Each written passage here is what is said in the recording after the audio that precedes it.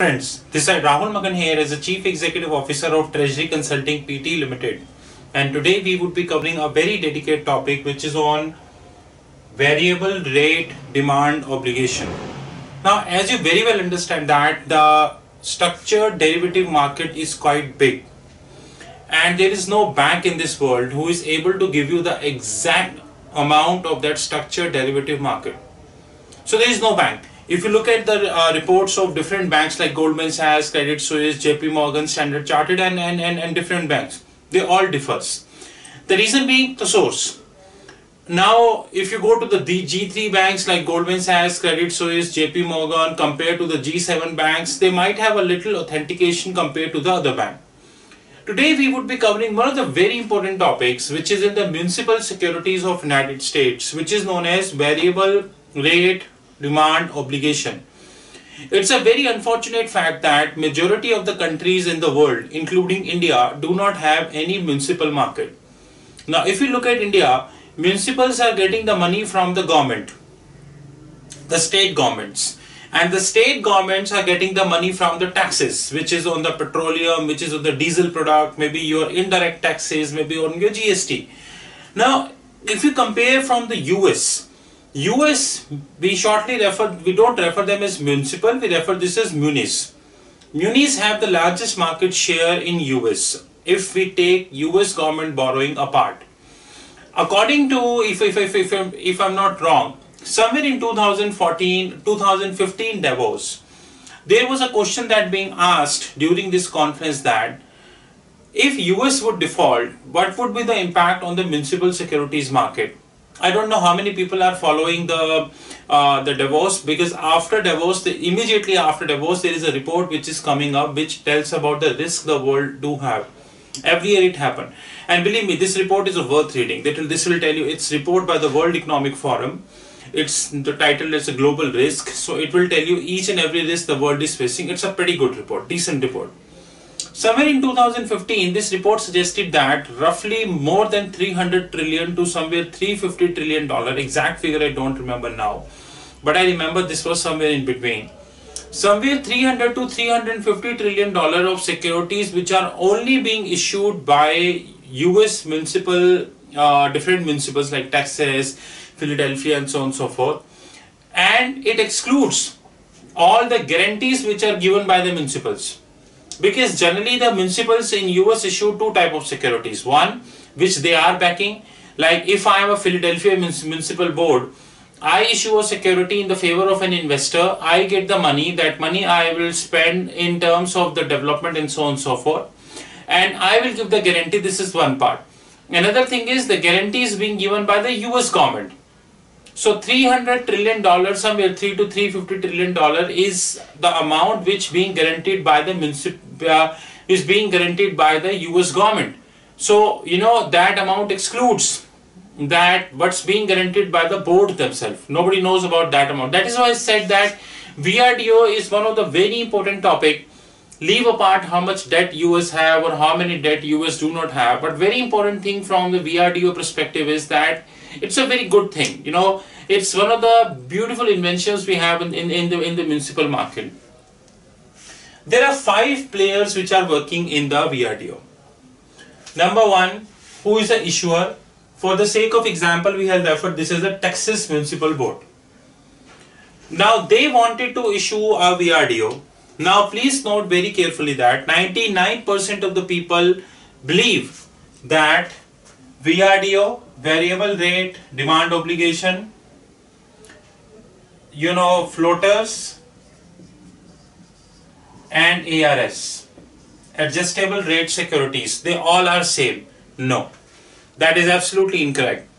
Theoretically speaking, they all are same because in each case the inter interest rate is being reset at a periodic stage. But from a valuation standpoint, from an issuer standpoint, this is completely different. Reason being, this two floaters and ARS, they do not have DPLC. Direct pay letter of credit. On the comparison, VRDO have DPLC. There are a lot of people who have another misconception that DPLC is nothing but a credit enhancement procedure. In a lot of videos we talked about credit enhancement procedures. One thing, yes, theoretically speaking, DPO is a kind of credit enhancement procedure, but DPO is not exact credit enhancement procedure which you are talking about. Now here it works.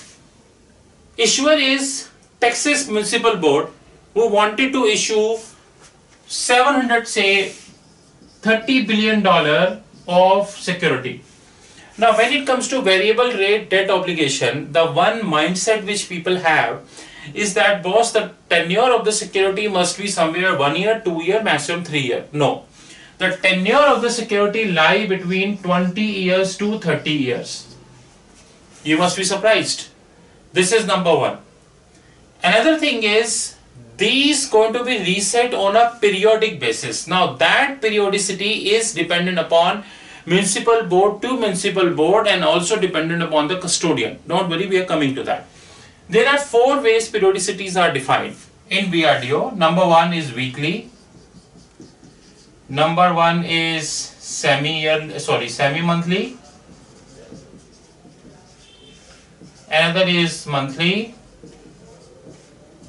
quarterly. You might be thinking why not semi-yearly and yearly? No. Because that is not the periodicity. If you go for semi-yearly then you will never get ICAP adjustment. This is very technical in nature so please ignore that as of now. From a VRDO perspective these are the four periodicities which they have. That is totally dependent upon the custodian and also the Texas board now this periodicity is being defined by a forum which is known as SIFMA. It's a forum which will, which I'm not saying they're the custodian of the fixed income market, but one of the well reputed forums which we have. And they publish an index which is known as Municipal Index. You can visit their website and you can have that. From their municipal index, they will publish this adjustable rate on weekly basis, semi-monthly basis, monthly and quarterly basis. Now here we go. Texas Municipal Board is launching, not launching, wanted to have 30 billion dollar of VRDO. Average tenure somewhere 20 to 30 years. Let us fix at 26 years. Take it as 25 years. This is the tenure. And assuming they are going for a weekly basis. Which means that every week the interest rate is going to be reset and assuming they are offering L plus 1.25 percent that L has to be changed on a periodic basis. Now they will go they need somebody that is why I said that the difference between VRDO floaters and ARS is that in the later two you do not have a DPLC but in the first case you have the DPLC. Nobody will buy Texas Municipal Board although they know that it's being backed by the US government. It's a government forum, it's being backed by the US government, you have a sovereign guarantee. They will come to a bank. We assume that this bank is Goldman Sachs, my favorite bank as always. Goldman Sachs will create a bond purchase agreement shortly known as BPA in US. In this what Goldman Sachs would do, Goldman Sachs will say in case of any issue, technical recession in US, cash recession is US, any meltdown in the financial market, the wind up of the Texas Municipal Board, or could be any reason. We are here to pay. Direct pay letter of credit. So after 25 years, if any of these things would happen or do not happen, other way US government is pretty good under under Trump administration uh, this municipal board which is of Texas is doing good job. They have a cash reserve. Either of that. In the worst case or in the best case Goldman Sachs will pay to the to the subscriber or to the institutional investor directly. That is why this is known as direct pay letter of credit. Goldman Sachs will not pay to the board who will pay to the subscriber. Goldman Sachs will directly pay to the subscriber although in case of letter of credit they would pay if the company do not pay. That is the difference between DPLC and LC I hope you've been to our video which is DPLC In case of LC, the bank bankroll will come when there is a contingency. In case of DPLC, bank bankroll will come, boss, you produced your document, documentary credit is fine, all documents are in order, here is your money, thank you very much for doing business with my client. Now I know how to take the money with my client, you don't, you need not to be bothered about that, as simple as that. Now in this case, Goldman Sachs will sign the DPLC in the favor of institutional investor which is here we assume this as an Apple Inc. Reason they have a huge surplus cash. Apple Inc. is investing in Munis. They have a DPLC from Goldman Sachs that in case of the worst thing or the best thing my money is safe. But they would be needing an underwriter or a lead arranger who will connect Apple with the Texas board. And here we assume this to be a Citibank. The Citibank would be an underwriter between the Texas board and the, and the Apple who will make sure that of course we have taken an example of Apple you can add a lot of companies that uh, you might have one investor you might have more than one investor so that is not a problem so in case of Apple Inc Apple Inc is investing because they know my money is safe Texas board is safe because if anything would happen Goldman Sachs will pay Goldman Sachs would act as a DPLC oblique a custodian everything is in the control of the Goldman Sachs. This underwriter is also safe. Boss, if anything wrong, wrong would happen, nobody will put the gun on my head because we have Goldman Sachs here. Theoretically speaking, this is a credit enhancement procedure, but this is different than the, this is completely different, but practically credit enhancement procedures work. Because credit enhancement procedures are completely different than DPLC. They are, we have six types of credit, credit enhancement procedures across the globe which is something on a consulting note. To cut the long video, VRDO, Variable Rate Demand Obligation is one of the finest inventions we have in the municipal markets. I strongly believe that rather than following a model whereby government will get a tax revenue, direct tax or an indirect tax revenue, which government will further allocate, it to the municipals for the development of the city or the country, this model is obsolete model. On the contrary, we should going with the US based model whereby municipals are authorized to issue directly. However, there is a caveat here.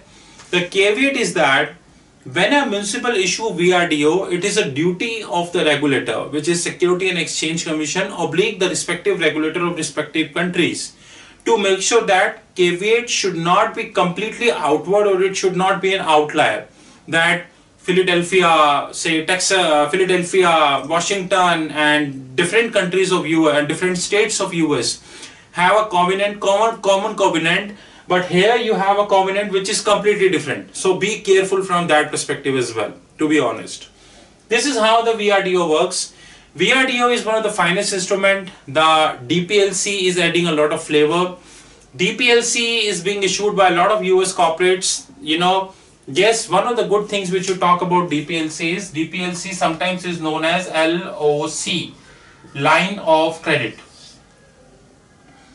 This is because this is a line of credit Goldman has given to the Texas. This is for today. In case you have any questions, our Skype ID is Rahul5327.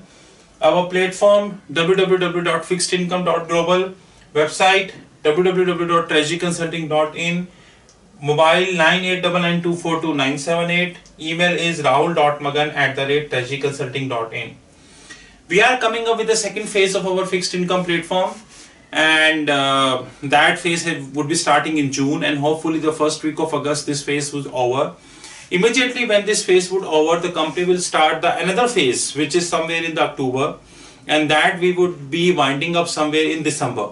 So this year we are coming up with the two phases. The second phase which we are expecting to launch in June and uh, expected to go live by August would, would be more focusing about the family office investment desk and the pension fund management desk.